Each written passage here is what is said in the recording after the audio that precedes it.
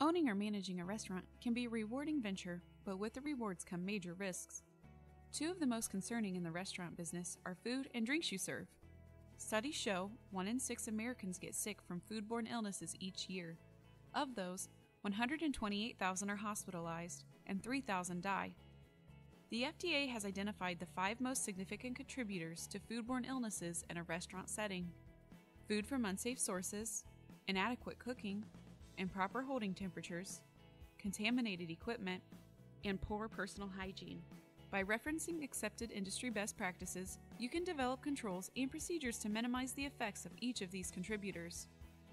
Safe food storage controls will help eliminate biological hazards and risks associated with foodborne illnesses. Considerations include ventilation, extermination, containers tightly covered, labeled and dated, food items stored 6 inches off the floor, proper temperatures maintained, and cleaning products stored away from food products. Restaurant kitchen staff should be well versed in safe practices, and kitchens should have signs posted outlining safe procedures and storage temperatures for all food types. Considerations include defining kitchen cleaning schedules for cooking equipment, utensils, and cutting boards, and floors, walls, horizontal surfaces, and appropriate handling of food. Hand washing is key.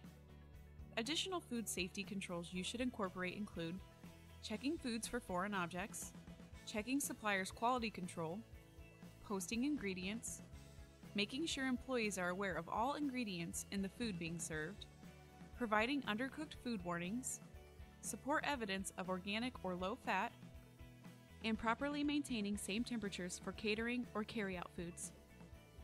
Along with making sure your food is safe for consumption, you need to assure that patrons are consuming alcohol safely as well. According to the CDC, alcohol use results in approximately 88,000 deaths and 2.5 million years of lost potential lifespan annually in the US.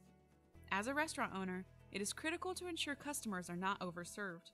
Failure to control this exposure could result in fines, loss of license, increased insurance costs, and possible imprisonment.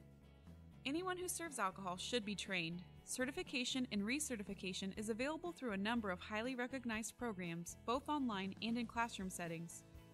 Written liquor service policies should be established to address items such as ID checks or carding of persons who appear to be under 30, handling of customers showing signs of intoxication, a ride home policy, and incident record keeping. Restaurant product and liability losses can be minimized or avoided by identifying exposures, having a current prevention plan and policy in place, and ongoing management support. Should you have questions about controlling your liability exposures, contact your independent insurance agent.